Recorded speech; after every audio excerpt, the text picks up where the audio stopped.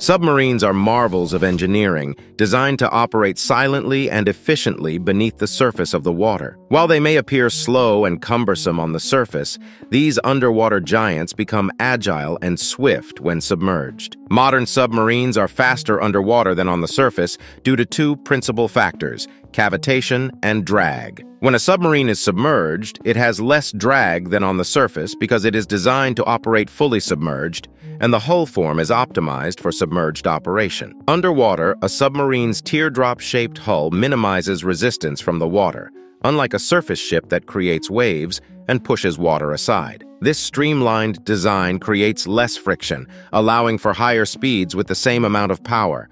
Propellers are designed to work best in water. When submerged, the propeller operates under higher pressure and can push against a denser medium, generating more thrust and pushing the submarine faster.